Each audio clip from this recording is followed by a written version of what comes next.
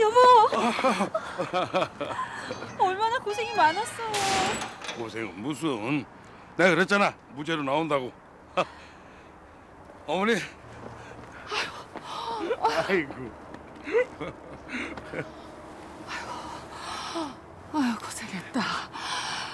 아무튼 결백이 밝혀져서 정말 다행이다. 아 참 처음부터 그게 다 되게 돼 있었다니까요. 뭐하러 여기까지 오셨어요? 자, 당신 그동안 고생 많았고 어머니 반찬치 않으셨지? 나보다도 네 건강은 어떠냐? 어머니 당신 걱정만 하셨어요. 아, 제 걱정 뭐하러 하세요? 어머니 제가 이제 정말 효도할게요. 예? 어머니 제가 한번 업어드릴까요? 예? 왜 이래? 아이고 남들이 본다. 아니 남들 보면 어때요? 자, 아버지. 아우 아이 아이, 엄마. 아이고 아이고.